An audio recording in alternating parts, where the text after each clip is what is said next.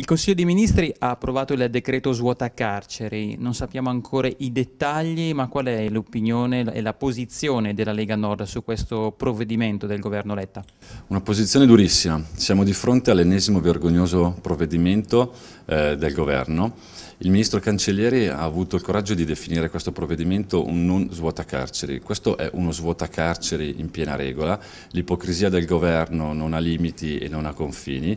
Eh, in questi giorni il governo fa uno svuotacarceri, premia e dà benefici ai delinquenti e dall'altro lato controlla i conti correnti delle persone oneste. Siamo alla follia, all'assurdità eh, più totale. Eh, per cui mh, questo provvedimento non risolverà il problema del sovraffollamento delle carceri ma offende e mortifica oltremodo le vittime dei reati.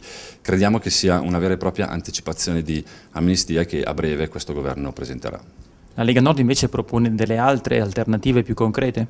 Noi contestiamo duramente queste soluzioni emergenziali, occasionali, tampone, che non risolvono il problema del sovraffollamento. Non è con le amnistie, non è con gli indulti, non è liberando chi ha commesso i reati che si risolve il problema delle carceri, lo si risolve in due modi, costruendo nuove carceri da un lato e dall'altro lato facendo scontare ai 23.000 detenuti stranieri che hanno già commesso un reato che dobbiamo pagare e mantenere nelle nostre carceri, eh, lo si risolve appunto il, problema eh, dando la possibilità a questi 23.000 detenuti stranieri di scontare la pena nei paesi d'origine.